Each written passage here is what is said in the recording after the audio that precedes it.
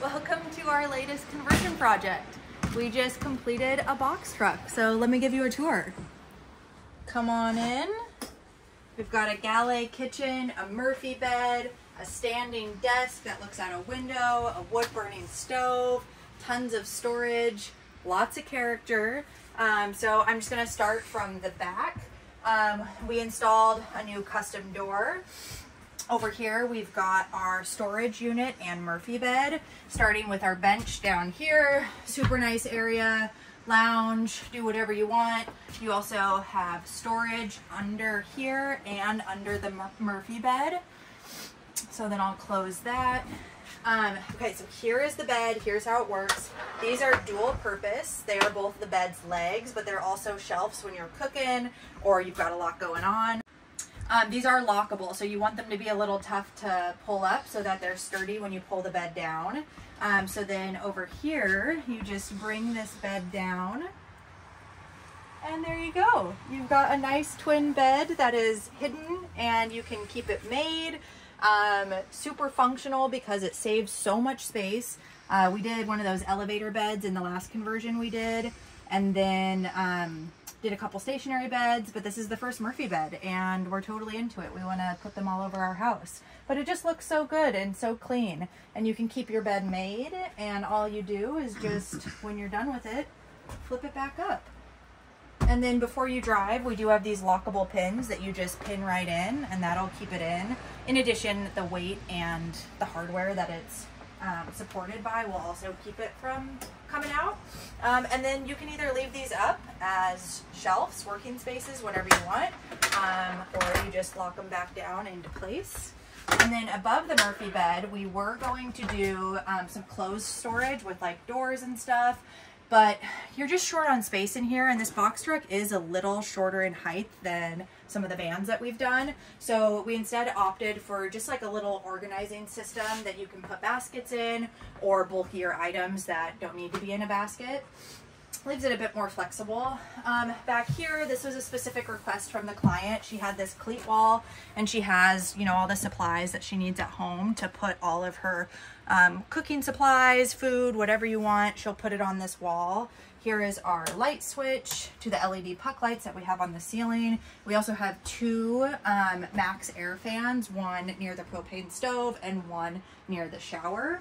Um, over here, these are two units that our client actually came to us with this kind of um, mint greenish antique blue and this fridge. And she said whatever you do you have to use these two units. Come up with a design. Show me what you can do with them. So that's really what our design was centered on. Um, we chose a really rich like chocolatey wood um, and then a lighter walnut countertop um, to complement them. And then over here, we've got our propane stove top, which is hooked up to a tank that is underneath the truck. Um, and then our water system is actually housed here as well with some additional storage. So we always do a foot pump water system. We just think that it conserves the most water. It's the most user friendly. If there's ever something that goes wrong, it's pretty easy to navigate and figure out what it was. It's also easy to clean and refill and use. Um, so then our deep sink, you can hide your dishes in here or whatever. Um, a cute little gooseneck faucet.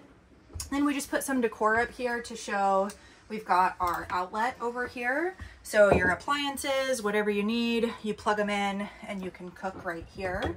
That is all connected to our battery system, which is housed down here. This is an EcoFlow. She has both the um, the power system as well as a backup battery. Um, she also has a larger one at home that she'll use for longer trips, but this will be good for kind of weekend getaways. And that's vented, and then the fridge is also connected to that as well. And then over here we have a standing desk, which is awesome. The original owners who started converting this truck, um, we're gonna do kind of like a food truck. So they installed this. Um, our client was like, I want to keep this. This is cool. And I agree. I think it's a really nice window that offers some shade too when you're working at your desk. And then this calms down and locks in place so it doesn't rattle when you drive. And then over here, we've got this little wood burning stove. Um, it was very neglected when it first came to us and very sad. This was the saddest corner in here. Um, so we cleaned this up, we fixed the cement board backing, and then we actually got this tile from um, ReStore and then we saved these tiles from previous projects that were scrap pieces. They weren't full tiles and we cut them into smaller two by two squares to create a pattern. We literally used every last scrap of tile to finish this design. We were so close to not having enough, um, but we did. And we love the way that it turned out and think that it just looks so cute in here. Um, so that's the fireplace. And then up here, we've got tons of open storage. Um, she'll be able to put baskets up there, some bulkier items, heavier items that she probably doesn't want rolling around in here.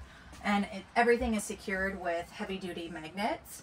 Uh, and then one note about the hardware, we just remodeled a house that we did um, kind of like a Facebook furniture flip with and these came off of the vanity that we used in that house so we were happy to repurpose them. They're really really cool solid wood pieces. Um, then over here is the shower. Uh, clearly there's no plumbing yet. That is going to be phase two. So what we did was we created a pony wall where that plumbing will go, but we did install a drain and a gray water tank. So all we need to do is just put a little shower curtain up. She'll have a solar shower bag that she can use as a kind of temporary solution. And then when she's ready to come back, we will cut open this pony wall and finish making this a fully functional shower. And then yeah, back into this lovely galley kitchen that is honestly bigger than some apartments, most apartments in New York, for instance. And then the Murphy bed and lounge area. So thank you so much for watching and let us know if you have any questions about the process or how we did things in a box truck versus like a van or a trailer. And we'd love to chat with you.